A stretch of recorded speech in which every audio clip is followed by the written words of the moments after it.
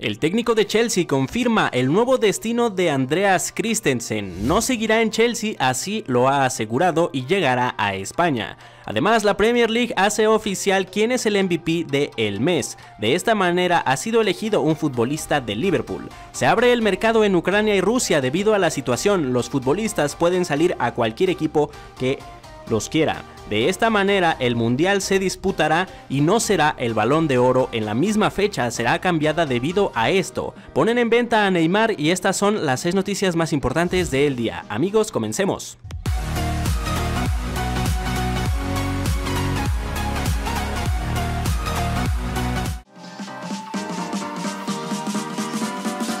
Tras el fracaso que ha tenido el equipo de Paris Saint-Germain en la UEFA Champions League, empezarán a rodar cabezas en el equipo y una de las que más está sonando ahora es la del futbolista brasileño Neymar Jr. El año pasado lo renovaron, pero el crack ha demostrado que no ha estado al 100% en los momentos importantes. Es por esto que quieren vender ya a su fichaje más caro. Les costó 220 millones en su momento y ahora quieren dejarlo ir. Estará en venta en el próximo mercado de verano y de esta manera escucharán ofertas. Suena para regresar a Barcelona o incluso fichar con Madrid.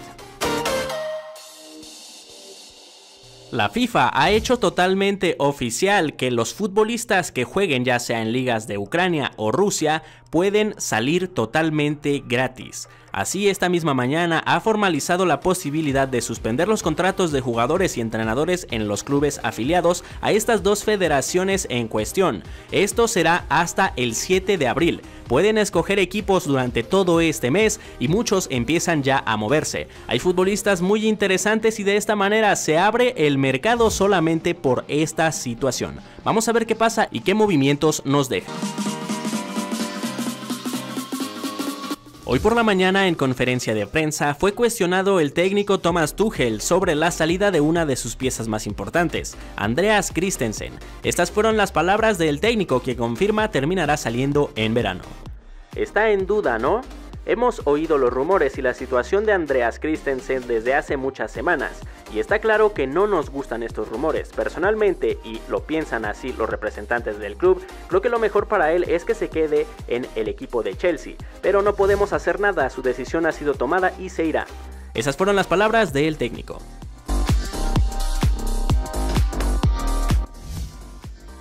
Como ya es costumbre, la Premier League ha elegido al futbolista del mes, al MVP, y en este caso para el mes de febrero, pues ni más ni menos han elegido al defensa central camerunés Joel Matip. El crack de Liverpool ha tenido un gran mes y es que fue determinante para los partidos de ese mes entre Leicester City, Burnley, Norwich y Leeds United. Todos estos partidos los ganaron y fue pieza fundamental. Es la primera vez que gana este premio desde que llegó a Anfield en 2016 y le arrebata el MVP del mes a Harry Kane.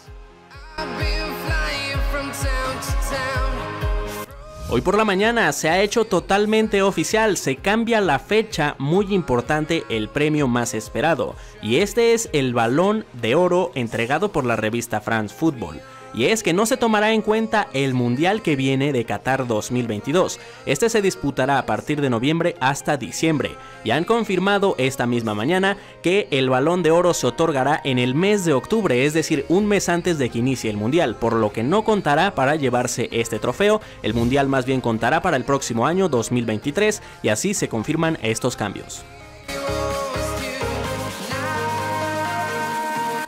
Esta mañana se ha confirmado, la UEFA inicia un procedimiento, esto para sancionar a dos piezas del equipo de Paris Saint Germain. En el último encuentro de los octavos de final en contra de Real Madrid, en el cual fueron eliminados, dos de sus grandes piezas hicieron declaraciones muy fuertes. Nasser Al-Khelafi, presidente del equipo, y también el técnico Mauricio Pochettino. Ambos se quejaron del arbitraje y todo esto fue por antideportivismo. Y bueno, según los artículos 11 y 15 del Código Disciplinario de la UEFA, esto está mal y van a sancionarlos.